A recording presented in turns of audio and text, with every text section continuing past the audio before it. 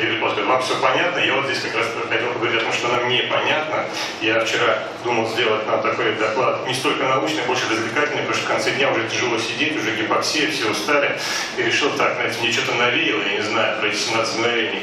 А, цитата какая-то в голову, в голову заскочила, и я а, в аналогии с этим буду проводить в качестве развлечения. Но вот что касательно последствий, что мы вообще не знаем? Это вообще в целом проблема для вот пациентов? То есть это есть такая проблема последствий образования или нет?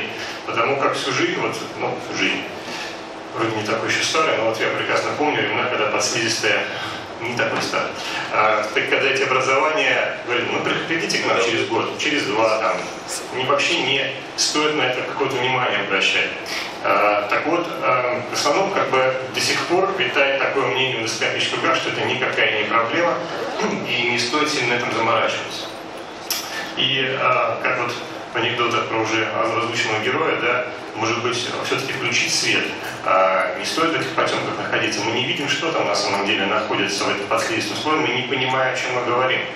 И когда мы проанализировали свою, вот нашу табличку, а, а, писали мне, писали пациенты, которые с диагнозом направления подслизистое образование, которые к нам приходили, обследовали, заводили такой там талмуд в электронном виде, посмотрели а, достаточно большое количество и 18, то есть почти 19 процентов ошибочный был диагноз. То бишь, то, что эндоскопически при гастроскопии трактовали как подслизистая опухоль, в 20% таковой не являлось. Каждый пятый – это ошибка. То есть а как мы можем тогда давать какие-то рекомендации пациенту вообще в принципе о дальнейшем действиях, о дальнейших наблюдениях не мало того, что мы гистологически не знаем, что это такое, так мы вообще, в принципе, не понимаем, есть там подслизистый или нет. Самая частая, конечно, ошибка – это когда там вообще нет никакого подслизистого опухоли, часто принимается другая селезеночная артерия из-за подслизистого опухоли, сдавление добавочной доли селезенки и так далее. Но бывает и обратная история. И Поэтому как бы такой тезис номер один, что подслизистое образование это ни в коем случае не диагноз, это не заключение, это всего лишь отклонение от нормы.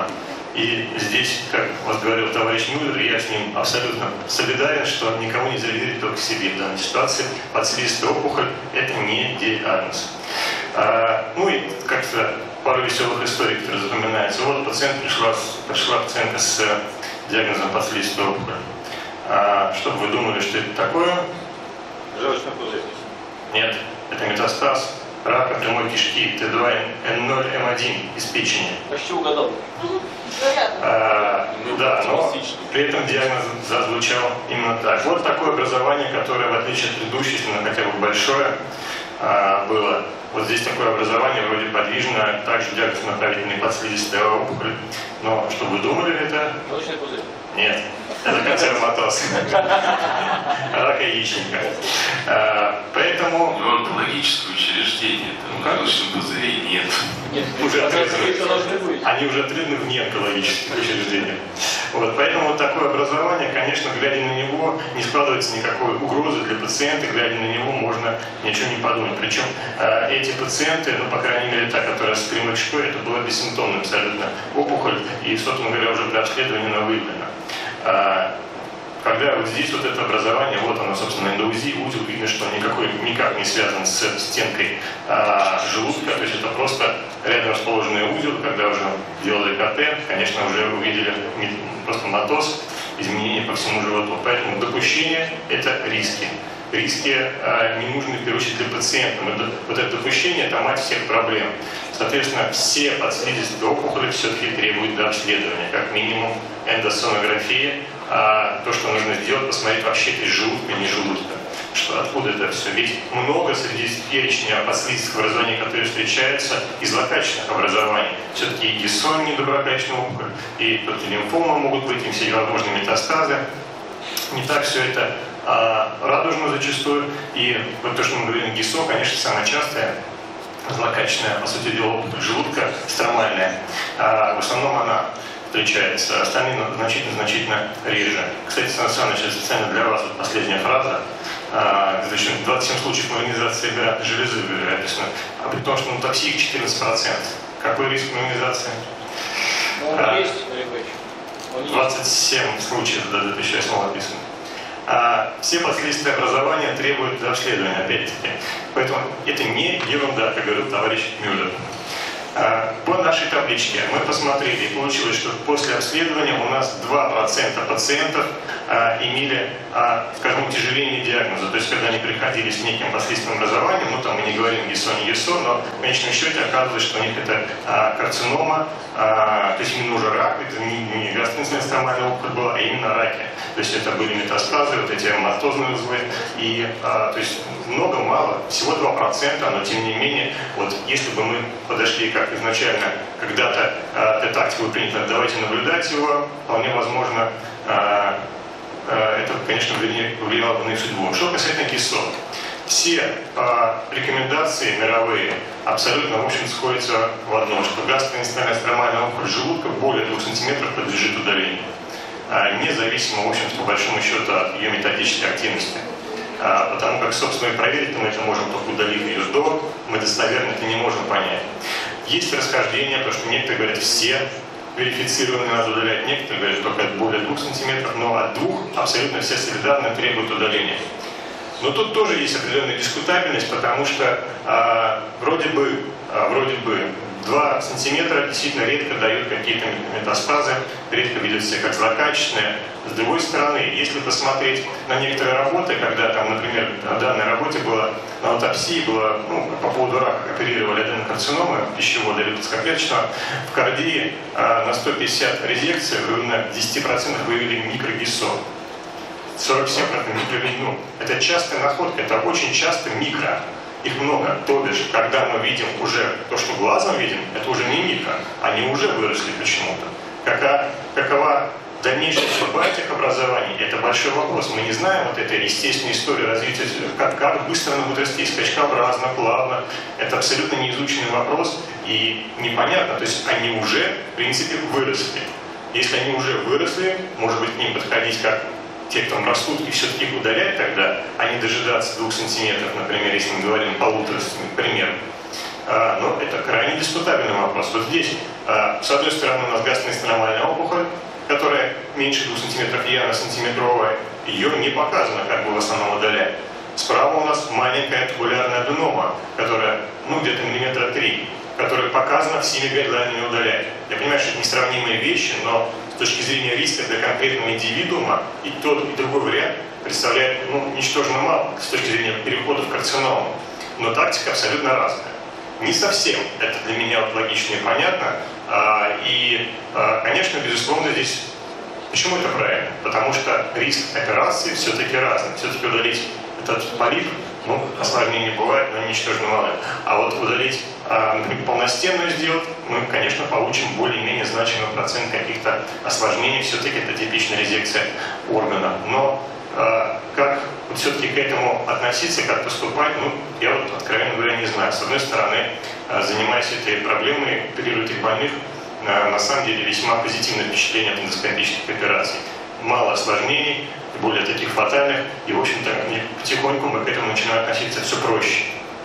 И поэтому иногда вроде как проще удалить, а не наблюдать вот это маленькое автомальное образование.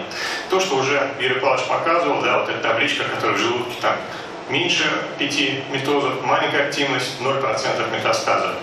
А вот здесь, когда высокоактивно менее 2 см, просто нет данных. Такие образования крайне редки.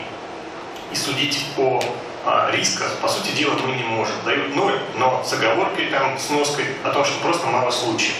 А оценить по биопсии, а, по а, визуальным характеристикам достоверной ее активности, честно говоря, проблематично.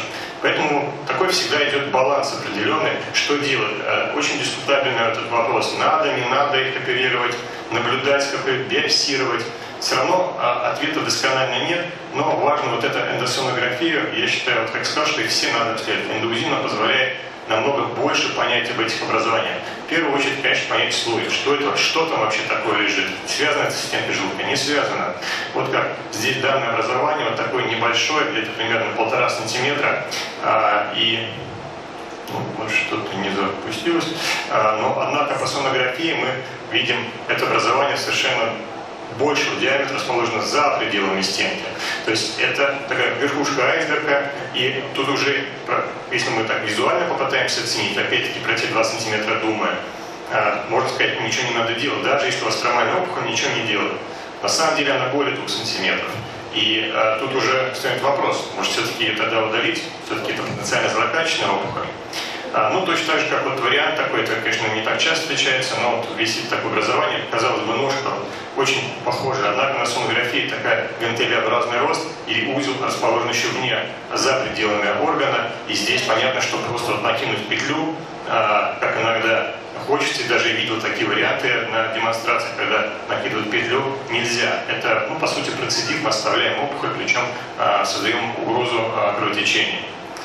А, ну и а, для сонографии действительно есть критерии определенные, когда мы можем заподозрить вот а, эту стромальную опухоль. То есть есть неровные границы, кистозные полости, изъязвления, эхогенных форм. В основном мы говорим не о гиперэхогенах, а анахогенах. Гиперэхогенные, они как раз-таки больше характерны для а, неактивных опухолей, это в основном миома, там фиброз возникает. Активные опухоли – гиперэхогенные участки разрежения, либо вообще анахогенная зона распада. И гетерогенность, вот это как бы гипер-гипер, а, она как раз-таки больше характерна для активных образований, когда в данном случае есть вот эти зоны, где изъязвление, гипохогена, есть какая нодулярность ее гиперхонина. Это, конечно, критерий типичный для гастроинструменtal опухоли э, желудка. А, ну и как здесь, видите, вот точно так же зона, по сути дела, распада, а вот здесь однородная, это стромальная опухоль, она весьма однородная, а, без всяких очагов, но тем не менее здесь после удаления дали ГИСО. Кстати, КТ здесь давала лимфоузел вообще прилежащий желудка, и только по эндузиму сказали, что это исходит из стенки. Поэтому сонография с точки зрения определения слоя, из, а, из, а, откуда исходит образование, конечно, доминирует и крайне важно. Вот редкий вариант, честно говоря, один раз только все встретился, пациентка, у которой ГИСО было огромное и имела форму кисты, то есть тонкая стенка это самообразование полностью заполнена визированной кровью, сама была такая, как киста. Собственно говоря, я изначально и ошибся, написал, что это киста, заподозрил, что есть это травматического характера, тем более пациентка писала, там падение с лошади там какое-то было. Ну, вот, но в конечном счете это оказалось стромалёнка, только такой вот кистозный тип исходящий желудка. И здесь, подняв свои фотографии, как бы эндоузи, когда я узнал а уже постфактум, после оперативного вмешательства об ошибке, посмотрел, э, и здесь действительно видно, что это исходит из мышцы, сам же и видел. А, но тем не менее, эндоузи это тоже не всегда решение проблем. Вы уверены, что ГИСО? Вот мы когда заняли, сначала с такой был прям подъем эмоциональный, но оказалось, что все понятно уже. Мы стали понимать, ГИСО или миома, а, вот вроде бы все так очевидно понятно, когда опять-таки анализировали свои данные, посмотрели, что лишь в 62% подтвердился ГИСО. Да, здесь есть вот из этих 109 пациентов, которые мы отправили на операцию с, этим диагнозом, а, а, ГИСовой гидрогликемии, здесь человек 20, который просто, это уже такая старая история, по базе ретроспективно мы не отследили гистологию, они остались на вручном режиме, мы просто сейчас готовились не, э, не подняли эти данные, то есть еще погрешность есть. Но пускай даже они 20 всего окажутся ГИСО, тем не менее, то есть только пускай 70 75% мы оказались правы. Остальные образования не были стромальными опухолью. Апеллирование, по сути дела, ну, я не буду говорить зря, там, ну, в некоторых случаях были показания, исходя из изъязвлений, исходя, вернее, исходя из размеров больших, изъязвлений нет, это все стромальные, как говорил, но, тем не менее, не всегда по эндоузиму можно достоверно говорить о том, что это стромальная, гастроинстинальная стромальная опухоль или нет. А, и да, еще момент, что у нас 30-дневная летальность всех проверена у всех нулевая. Никто не погибал а после вмешательств как эндоскопических, так хирургических, связанных с резекцией. При наблюдении прогрессирования тоже ни у кого не было. Есть лишь у одной пациентки было увеличение размеров динамики. Ее Сан Саныч прооперировал, насколько я знаю. А, достанется. Ну, вот, а, а также были случаи, когда эндоузи ну скажем так, забивала немножко на столб, когда мы видим здесь образование, исходящее из, как показалось, мускулярис мукозы, гипохогенная, вот такой шарик с зоной распада, то есть туда аппарат вводит, здесь, ну, а может быть, как раз это попал, эта пациентка была на волне определенного энтузиазма от возможности эндоскопии, при подслизистых, по крайней мере, ну, ну надо же, какой интересный джип из слизистой оболочки, что редко бывает. А, вот он, собственно, так и выглядел эндоскопически, как вот такой валик с изделением. Многократные биопсии ничего не давали. А, в конечном счете оказалось Б, клеточная лимфома по окончательному э, заключению гистологии. А пациентка, вот недавнешний случай, вот такое подслизистое образование а, при пилорической зоне, антральный отдел, неизмененная слизистая, достаточно крупное образование, по эндоузии, ну, как бы как бы ГИСО. Во время операции эндоскопического удаления а, видно, что когда мы вскрыли брюшную полость, во-первых, капсулу как такого мы не увидели, типично для ГИСО, но и здесь на а, такой участок совершенно нетипичного какого-то нароста, мы даже не поняли, что это такое. Заключение морфологов – нейроэндокринная опухоль. А, крайне неожиданный для нас результат, потому что все-таки нейроэндокринные опухоли, в основном они растут в просвет, имеют типичный вид, сосуды желтоватые, в массе своей а, они вот именно такие. Хотя а, встречаются и вот подобные варианты, которые могут быть располагаться, по сути дела, в мышце, прорастать.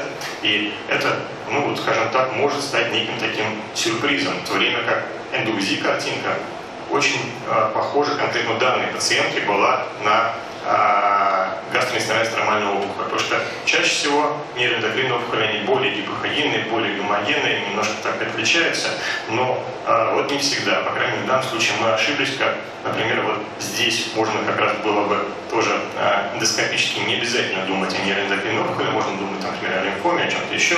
Гистология не давала верификации, однако вот как раз-таки более-менее типичная эндоузи картинка для нейроэндокринной опухоли, это гипохогенность с четкими контурами, очень явная, и здесь можно как раз поделать и понимать, что это нейроэндокринная опухоль. Ну вот мы посмотрели, казалось бы, ну мы поняли, где она растет, как она растет, так может быть возьмем, да, и отрежем, собственно говоря, и тоже решение проблемы, по сути дела, удалили, удалили, и, собственно, это решение проблемы.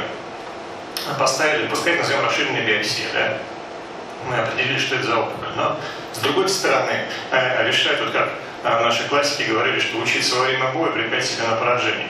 И все-таки надо понимать, что у нас перед нами э, расположено. У нас были свои ошибки, слава богу, уже давно они повторялись.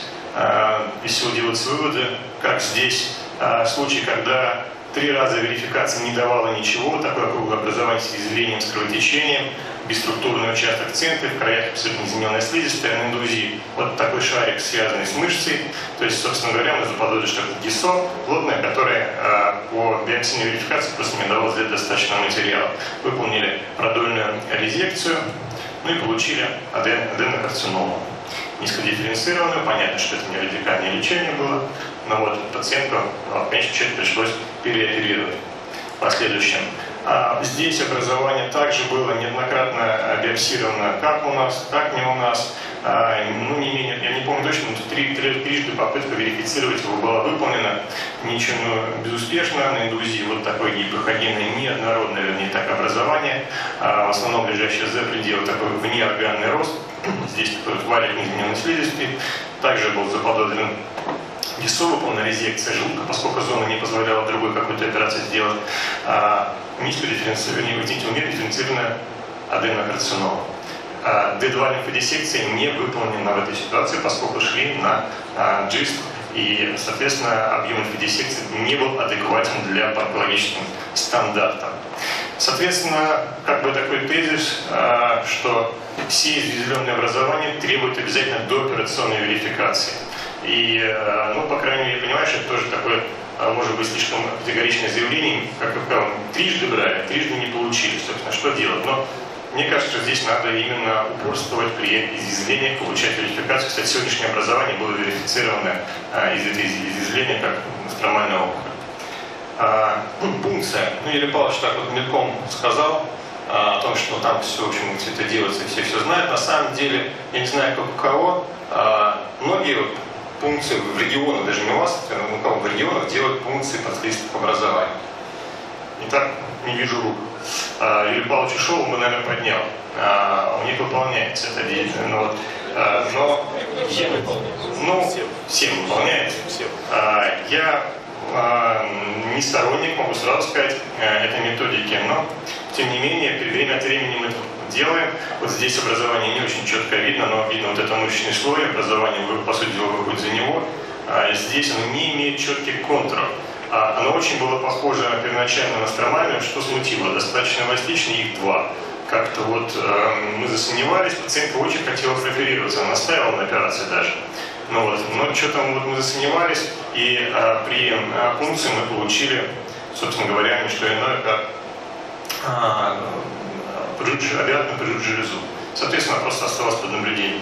А, но могу сказать, что мы пунктируем очень редко, мало, и наш, а, но при образовании более 3 сантиметров, в принципе, мы всех получили результат, надо сказать. Хотя этих функций было там всего, может быть, 5.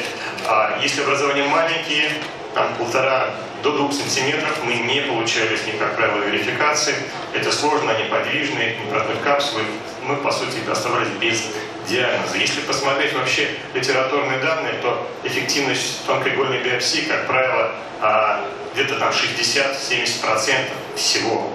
А, хотя есть работы, которые говорят, что если цитолог сидит рядом, вы тыкаете иглой, пока не получите материал, то это свыше 90 иногда получается.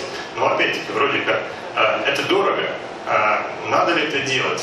Я вот спросил, Сан Саныч удаляет последствия образования, Иван Юрьевич тоже вроде как удаляет, ну, не всегда, конечно, как мы знаем. Но вот никто из них не верифицирует, то есть теперь основываясь на других критериях. Более того, если посмотреть, потеоретизировать, то а, образование, например, растет такое в зауженном основании вне органа. Нам что пройти иглой, надо проходить через эту ножку, умудриться попасть. Если мы пойдем вот так насквозь, мы повреждаем капсулу, есть риск повреждения капсулы, то есть, с одной стороны, привлечение, диссеминация процесса, и э, это как бы уже не соответствует онкологическим критериям. Ведь трипан-биопсию гистов крайне не рекомендуют делать, это ведет к диссеминированию процесса. Тонкоигольные, конечно, менее травматично, но тем не менее а, а, проходить таким образом тоже не рекомендуется. И более того, недостоверно один известный случай в Петербурге, а, когда это было сделано, вот именно в такой ситуации, повреждение капсулы, кровотечение, абсцесс, сепсис и летальный исход. Вот вам и тонкоигольная биопсия. Поэтому не все такие биопсии безопасны. Нельзя говорить об этом как просто вопрос денег, не денег. Э, оно может вести к себе какие-то э, проблемы.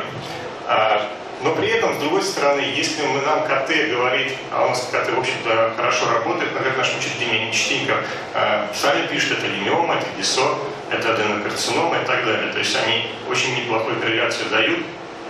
Но вот здесь, мне кажется, тонкоигольная функция целесообразна, когда у нас есть диссонанс между двумя методами, то есть когда нет согласия, они, например, говорят одно, мы другое, и здесь действительно можно выполнить. А тут последняя фраза, это к тому, что я, в общем-то, всегда был противником кому тонкоигольной биопсии, но тем не менее иногда я, в общем-то, признаю, что это, наверное, делать надо, как в данном случае.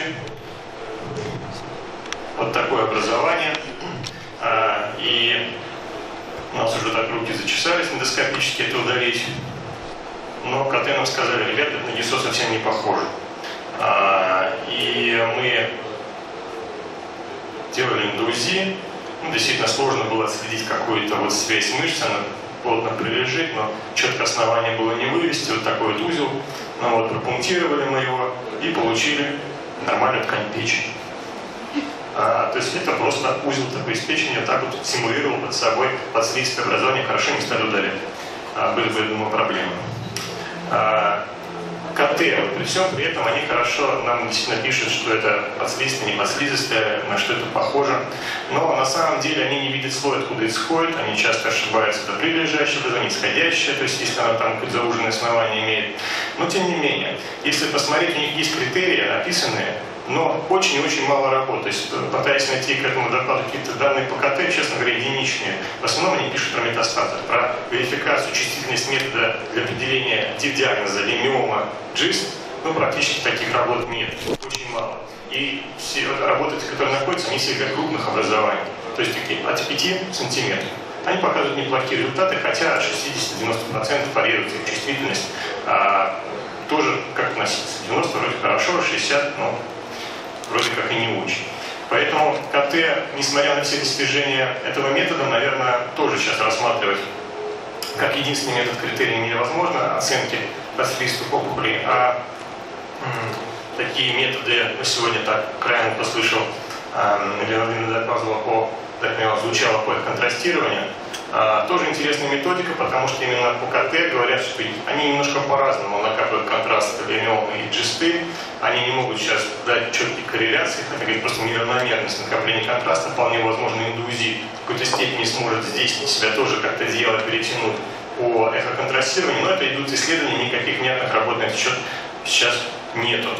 Ну и как опять-таки говорил классик, всегда запоминается первая и последняя фраза, лучше всего, поэтому в конце просто перечислением те тезисы, которые я озвучил сегодня, что те образования надо дообследовать, и ЭОС и КТ обязательно нужно находить стандарт, и тот, и другой метод обязательно. Если вы человек выставляете последствия образования, изведенное надо обязательно стараться верифицировать. Конечно, всего есть исключения, но все-таки это такой тезис, что надо, если израильцы, надо пытаться это делать. Тонкоигольная биопсия, наверное, не является такой не обязательным выбором, все-таки в моем понимании, но а, если есть расхождение данных, если это повлияет на дальнейшую тактику, если вы считаете, что, например, оперировать надо, пациент говорит не хочу или наоборот, скорее даже если пациент настаивает, вы говорите не надо, доказать верификацию, чтобы можно было обсудить более детально, наверное, имеет смысл пробиопсировать, э, прийти к какому-то более внятному диагнозу. На этом, собственно говоря, спасибо.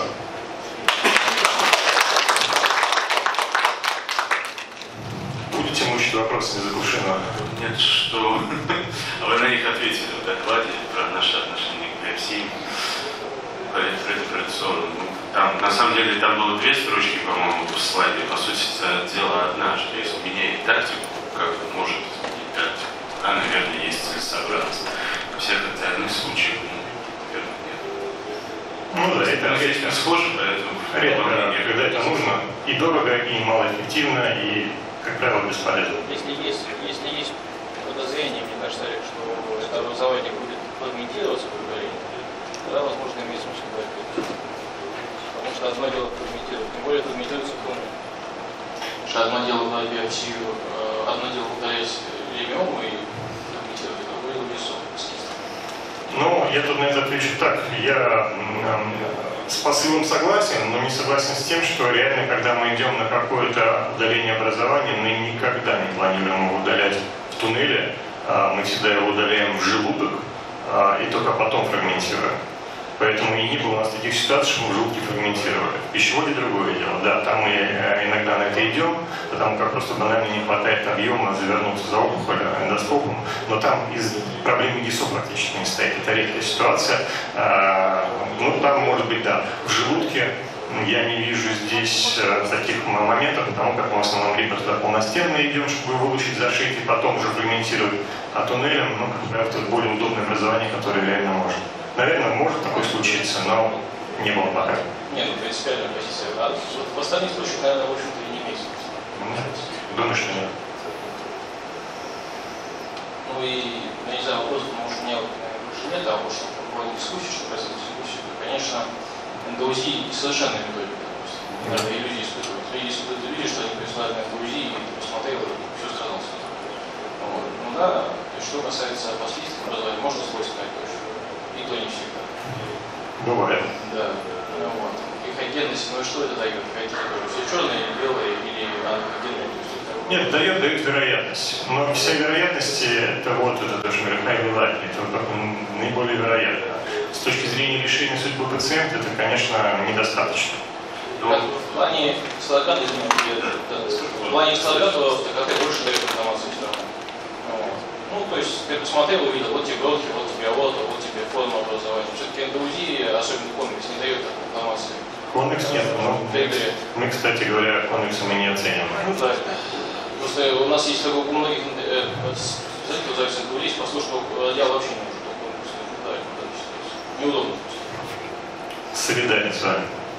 Ну, я практически солидарен, я просто, да, то есть прекрасно слушать дискуссию между двумя людьми, которые готовы и могут удалить всегда и все эндоскопически. Дело в том, что эндосонография, да, она не идеальна, это понятно, и когда говорили про подследственное образование, первично основным целью эндосонографии при подследственном образовании являлось две вещи. Во-первых, из какого слоя он растет, чтобы понять, возможно ли его убрать диссекцией обычной, да, либо если э, осмотреть на уже в дальнейшем, при развитии, в дальнейшем, да, каких-то технологий, возможно ли оно подходит под выполнение методики туннельного удаления, да. Сейчас в руках Олега Борисовича Александра Александровича Мы пока не очень увлекаемся этим, честно скажу. Да, то есть, в принципе, уже не важно вообще, из какого слоя оно растет, излезляется, не излезляется. Видели оно матрешки, там на свои две трети выходит брюшную полость, все равно есть полнослойная резекция, овеска э, и руки Олега Борисовича. Тогда действительно в данной ситуации получается, что по сути дела вам индузит при подследствиях уже, наверное, не нужно. Главное, чтобы это не оказался желчный пузырь, но у вас так не бывает. То есть поэтому как бы Грубо говоря, задача эндоузии становится установить связь этого новообразования с желудком по сути. Нет, ну я не совсем согласен, потому как все-таки, как я сказал, планировать операцию надо до, заранее, и готовиться, идти, идти на полностенную резекцию всегда, но это, на мой взгляд, глупо неоправданно, она более рискованная, чем туннельная, она более затратная, э, и это не нужно. Если можно делать туннель, надо делать туннель, а в этом случае надо четко понимать, какой слой связан с ним слизистый или не связан. Поэтому все равно это влияет, влияет на тактику принятия стратегии. Э, конечно, очень крайне важно понять, что это именно желудок, а не соседний орган, который нам не надо... Ну, хотя опухоль точно через желудок тоже убирают. Там был слайд, где было КИСО и аденома. Откуда вы знаете, что а, конкретно в данном случае я просто его удалил, не знаю. Я поэтому и спросил, считаю, что на самом деле очень слайд, потому что реально, по факту, мы же ведь э, рекомендация не говорит, что КИСО маленькое удалять не нужно. Не нужно удалять меньше 2 сантиметров.